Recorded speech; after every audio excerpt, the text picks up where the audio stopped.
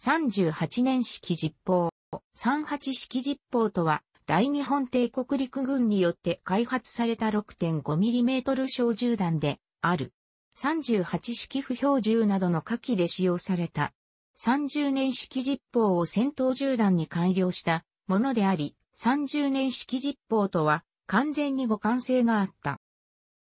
本実砲は1906年、明治39年より陸軍技術審査部において研究を行い、1907年、明治40年9月に制定、1913年、大正2年2月に改正された。最大の特徴は、日本初の戦闘銃弾、40式銃弾と故障という点である。以前採用していた30年式不標準の遠投銃弾と比較して、小粒に命中した際、貫通力が優れるため、大きな骨層を与えることができた。ただし、肉部への損傷は比較的小さく、不殺銃弾とも呼ばれる。また、30年式実砲よりも弾丸重量を減らし、装薬を増量することで、より初速を高めていた。開発にあたり、38式実砲はドイツで1903年に採用された S 弾の影響を受けている。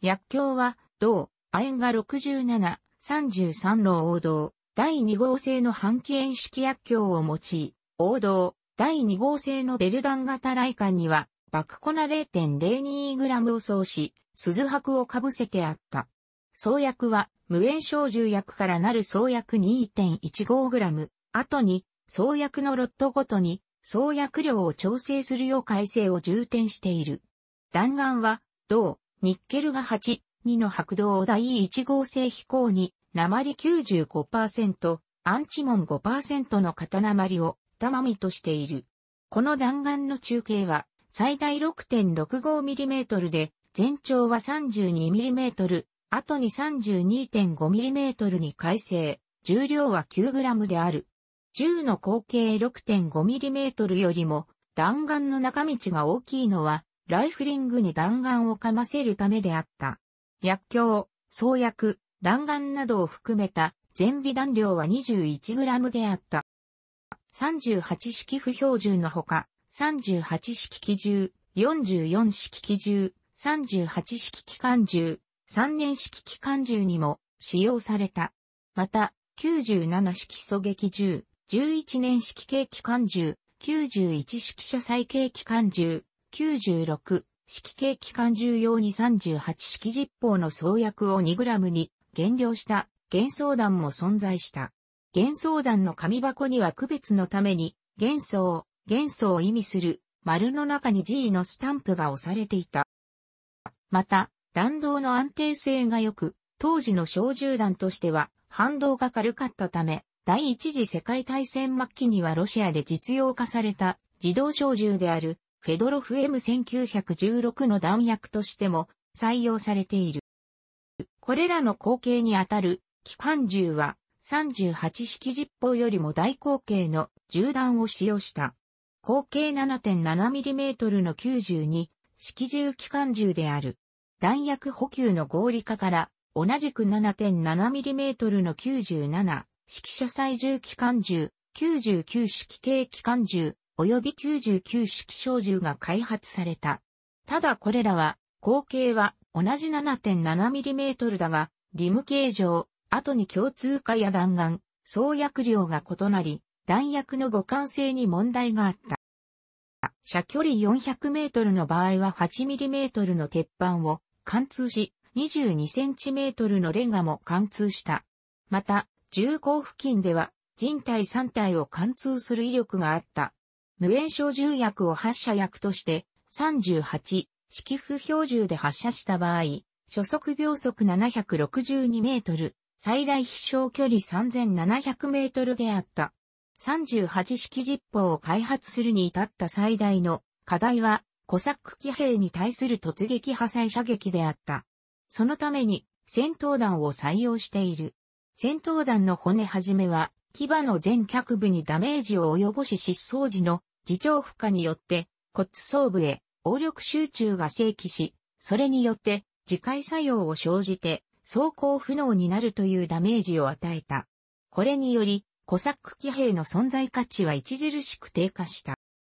後継に比して弾頭重量が大きいため、重量の割に空気抵抗が少なく、発射後の減速が少ない。加えて、初速も高いことから弾道の直進性に優れる。これが38式不標準が高い命中精度を得られた大きな理由と思われる。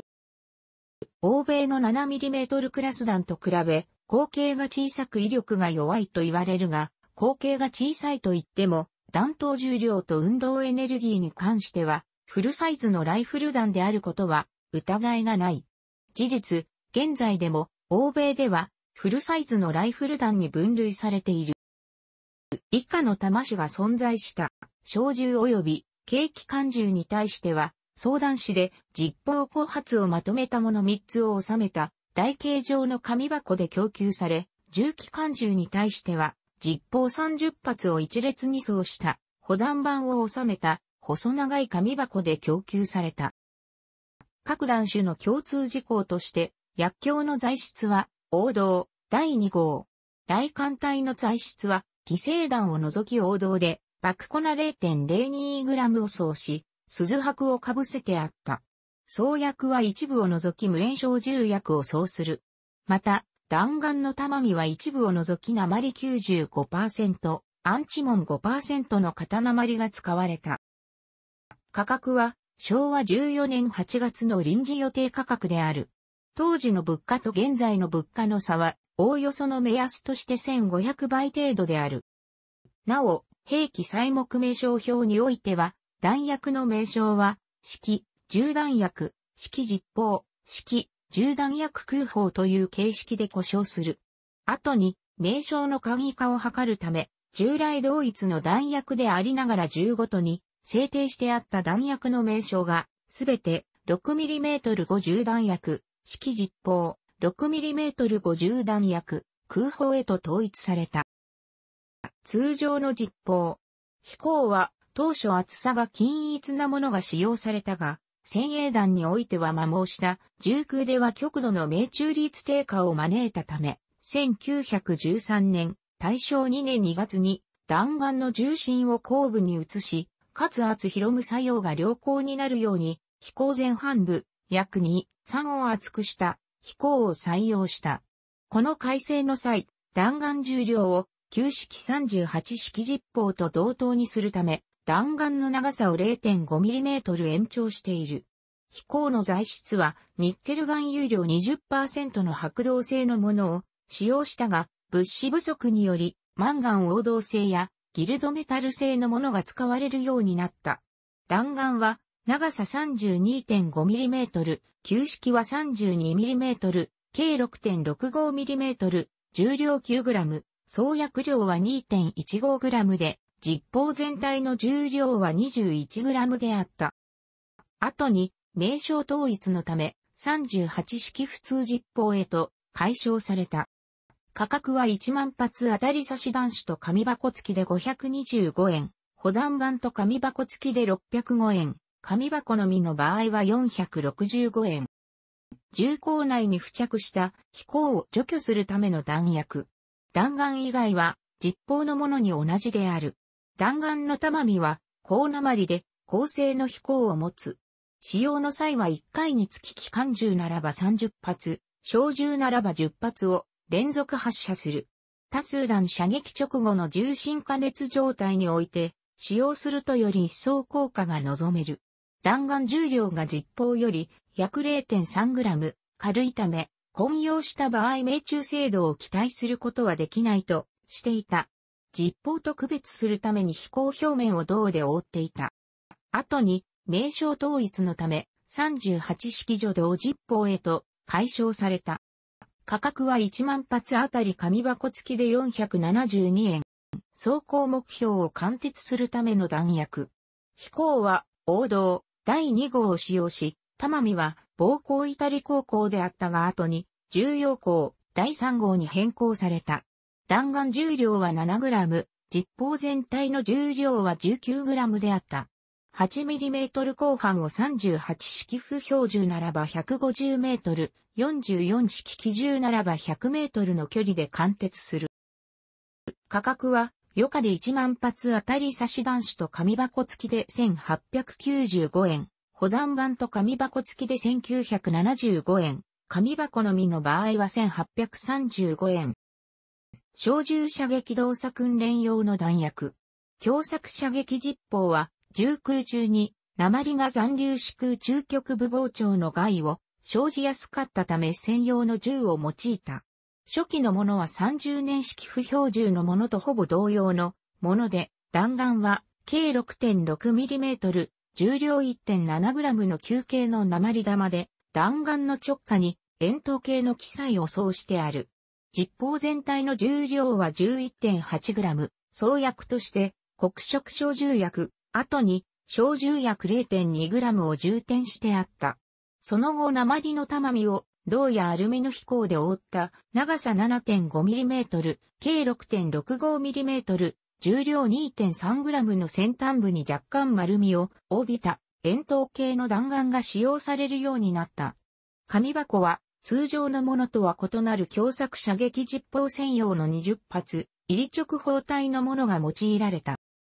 後に、名称統一のため、小銃狭作実砲へと解消された。価格は1万発あたり紙箱付きで310円。小銃用のものと、機関銃用のものがあった。小銃用は、弾丸がボール紙製の中空の紙弾であり、表面に紅色のワニスを塗抹した。創薬として1号空砲薬 0.8g を充填し、全体の重量は 10.42g であった。後に、使用済みの薬莢を再利用するため、創薬量を 0.6g に減じた。機関重用は弾丸がサワラ製の気弾であり、創薬として2号空砲薬 2.10g を充填していた。また、機関銃においては、作動を確実にするため、専用の空砲重心を用いた。なお紙箱の表紙には識別のため赤色で印字してあった。後に名称統一のためそれぞれ小銃空砲及び機関銃空砲へと解消された。価格は小銃用が1万発当たり差し弾種と紙箱付きで340円、紙箱のみの場合は280円、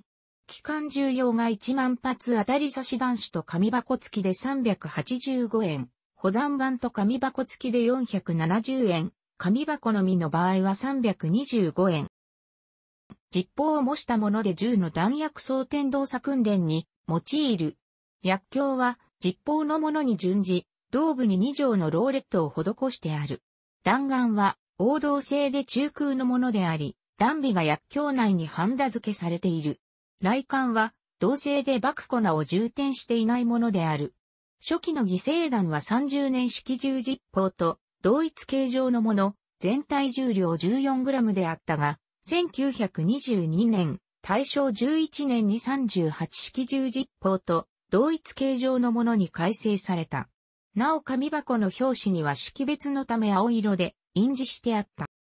犠牲弾の区分は弾薬ではなく兵器の続品扱いだったため、正式名称は、式、銃弾薬犠牲弾とはせず、式銃犠牲弾と称した。しかしながら 6.5mm 重要の犠牲弾のみは、例外であり、相談紙に装されたもの型案に、小銃犠牲弾、保弾板に装されたもの型案に、機関銃犠牲弾とされた。後に、名称統一のため双方とも、6mm 後、重犠牲弾へと解消された。資源節約のため材質や制作方法が変更されたり、舞台の下記版で独自に作成されたりしたため、非常に多くのバリエーションが存在している。例としては、弾丸が膀胱から削り出したもの、6mm50 犠牲弾として1943年、昭和18年10月仮正式制定、全体重量 18.5g や木製となったもの、弾丸の固定方法として、鞘や後部が締め付けられているだけのもの、雷管が鉄製のもの、ローレットのピッチや位置が異なる、あるいは存在しないもの、打角薬莢を再利用したもの等がある。価格は1万発当たり差し弾種と紙箱付きで365円。紙箱のみの場合は320円。人馬に命中した際に飛行が破砕してより大きな効果を示すよう木とした弾丸を使用する弾薬。1940年、昭和15年2月、富津車上において第1回試験が行われた。X 弾は、タモミ先端部にアルミニウム第1号第4号を使用した弾丸であった。一方 Y 弾は飛行の材質を王道、銅85%、亜鉛15%生とし、かつ厚さが均一な厚広む作用を持たない飛行に変更したもので、さらに、玉見先端部に空間を設けた弾丸であった。その他は38式実砲とほぼ同じであった。試験では、X 弾及び Y 弾に加え、弾頭に複数の溝を設けたものや、弾丸の先端を切り落とした形状のものと、複数種の派生型が用意された。試験の結果、X 弾の効果は、従来の38式実砲とほとんど変わらなかったが、Y 弾、特に弾丸先端部に3条の横溝を施した Y 弾以後はよく割れ、弾頭空間部に充填する化学薬品の研究が検討され、1941年、昭和16年3月の第2回試験以降は、口径 7.7mm に変更され、同年7月の第3回試験、1942年、昭和17年3月の第4回試験まで研究は続行されたが、完成には及ばなかった。海軍では共作射撃用として、陸軍のものとは異なる特殊な弾薬が使用されていた。薬莢底部が二重構造となっており、雷管は通常のものとは異なる非常に大型のものを使用した。弾丸は、球形の鉛玉で雷管の撃発時の威力のみを持って発射し、薬莢は200回の使用に耐えるものとしていた。30年式小銃や38式不標銃の少なからぬ数が戦後、欧米の銃器市場でスポーツ射撃または狩猟銃として出回ったことにより、38式実砲は前身の30年式実砲ともども、現在も一定以上の需要が存在し続けている。欧米市場では両弾薬を一括して 6.5mm、50セミリムド、アリサカという規格で取り扱っており、実砲はスウェーデンの社、米国の社やプレシジョンカートリッジ社等から販売されている。ハンドロードに用いられる薬莢は、セルビアの社から販売されているほか、玉用の薬莢をリサイズして用いる場合もある。弾頭は、264口径のものが適用できる。楽しくご覧になりましたら、購読と良いです。クリックしてください。